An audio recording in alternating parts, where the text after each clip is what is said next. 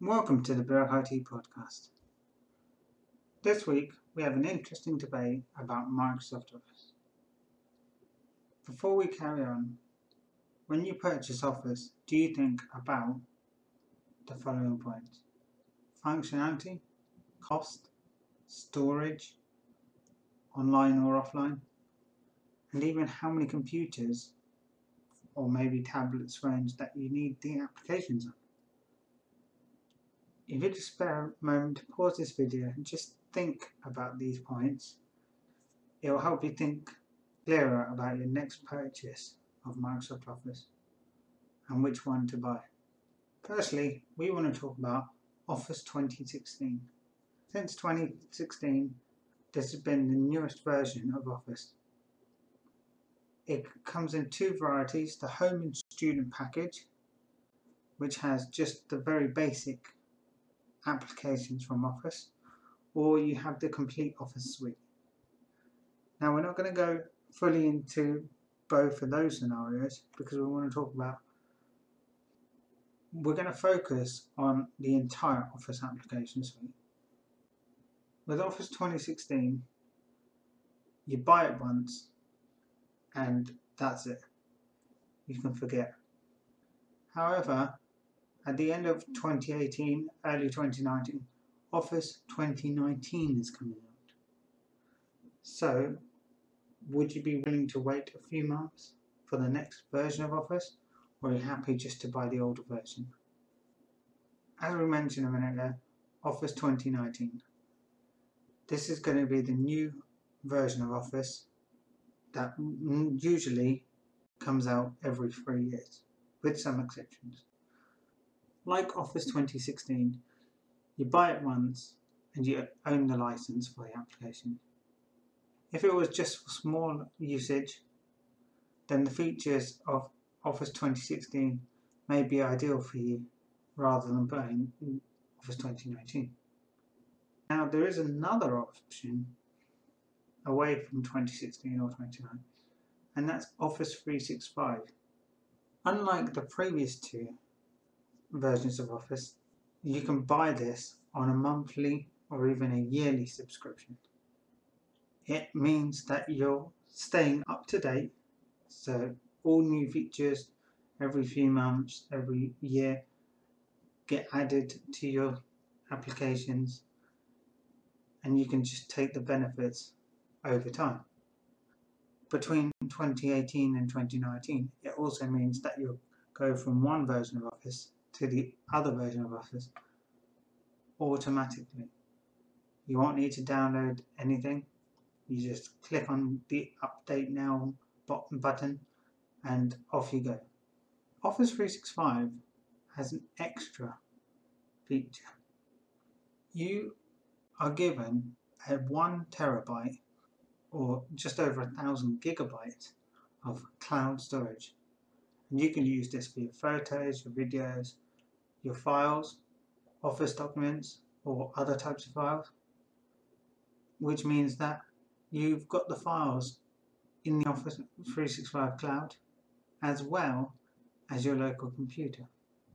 And it means you can access the files on your phone, tablet, or computer. And unlike purchasing Office, with the subscription, you can buy it for one person or even five devices. And that, when I say devices, that means computers, tablets, or phones. Which Office should I buy? Now, which version of Office should I buy? Now, this varies for all of us, so there's no one answer. In a family environment with one computer shared across the household, having Office 365 may not be the right solution for you. You may only need to install the application on one computer and with each of you having your own account on the computer, you might just share the application on the one computer. In a business scenario, you could take a different point of view. If you're starting a business and you're on your own, would mean that you stay up to date you can buy one license and have the online storage for a backup of your business data. giving you two features the entire Office suite and online storage. If you're in a team of up to five staff, then Office 365 would actually save your business money. You stay up to date and you have the online storage, which means that you can update the same files across the team without needing a central server in the building. Now the biggest point that everyone thinks about is cost. How much is it going to cost me? Now if you buy a version of Office with Word, Excel, PowerPoint, Publisher, Access, and even Outlook, say you need it for email, then you could be in the region of 200 pounds approximately 200 euros or $200. The equivalent version of Office 365 with one license is 60 pounds a year at today's pricing compared to a version of Office for up to five devices that license would be around 80 pound a year if we compare this with the same groups of people which we talked about earlier in the video, you'll see where there's a cost benefit that might influence which product to buy. Now, say you've got the family scenario, one computer, and you're going to use one version of Office for five or six years. You paid that £200 and that's it. If the same family buys Office 365 and just uses it on that one computer, you could end up spending 300 to 360 pound. Now buying it up front would save you approximately 100 pound. If the usage is going to stay to that, we would recommend you just buy the office license once. If you're a person who starts their own business and we're not going to think about, you know, you're growing to two, three, four staff as one person.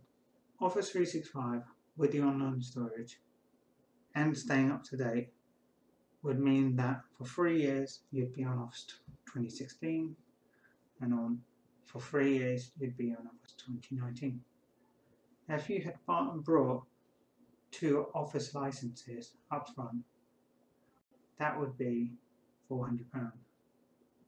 However, if you just buy Office 365 over the course of six years, you'd spend £360. So the cost benefit of buying upfront means that you'd only benefit if you keep one version of Office or you spread those two versions of Office to seven years, then it would only be a 400 pound cost versus 420 pound. So there is a little benefit, um, and depending on you know how long you're going to use Office, you're going to go one way or the other. Now, Office 365 is a bigger benefit when you're working with two or more staff. Say you've got a team of two, and after three years, of using Office 2016, you would end up paying £400. So that's two licenses for one product of Office over three, three years. If you were using Office 365, that would actually cost you £240. So in three years, two computers, you'd save £160, nearly half the money. So in this scenario, Office 365, it would be the clear choice. Now, if you're in a team of five staff, buying Office for five computers at £200 per computer would cost you a thousand pound. If you go down the Office 365 route, three years on Office 365 for those five computers would only cost you £240, which is a quarter of the price. So we're talking spending £1,000 up front versus spending £240 over three years. Office 365 has not only saved you money, but you've got the online storage provided as well. So the solution is not the same for everyone. If you just look on cost, then half the people will win on Office 365 and half the people will win just buying Office once. If you look at functionality, then you may want the online storage, you may not want the online storage. And if you're not using Outlook for email, you know, in a non-business scenario, then and you're using the Windows 10 Mail app, then the standalone of Office with just Word, Excel, and PowerPoint may be the option for for the family environment. If your usage is going to slight, vary slightly, we would advise you just to get in touch and ask using the details in the description below which options would be best suited for you. Now if you would like to find out more about Office 365 we have a number of videos on YouTube. Feel free to get in touch with us and we can discuss your specific needs.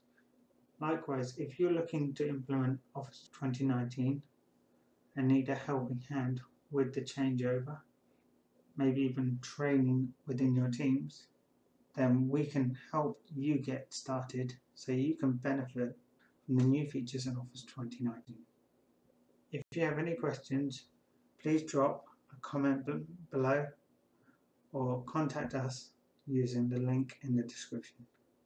If you would like to find out future videos from the team, please subscribe and give us a thumbs up if you found this information useful. Thanks for watching and have a great day.